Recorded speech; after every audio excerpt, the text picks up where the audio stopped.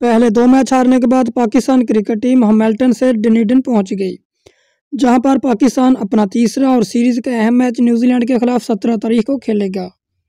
पहले दो मैचों में पाकिस्तान का पावर हिटर मिडल ऑर्डर शिकस्त की वजह बना।